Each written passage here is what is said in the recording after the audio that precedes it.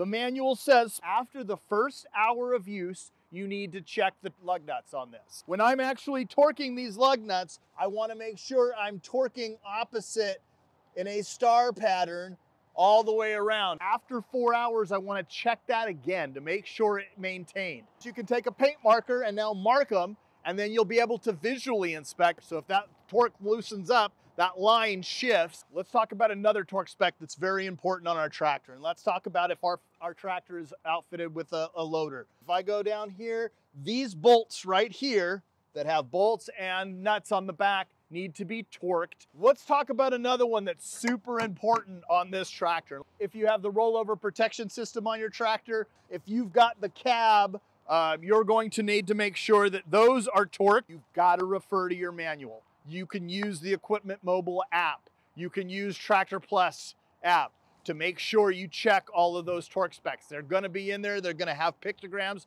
to show you how to get all these things checked. Maintenance is key.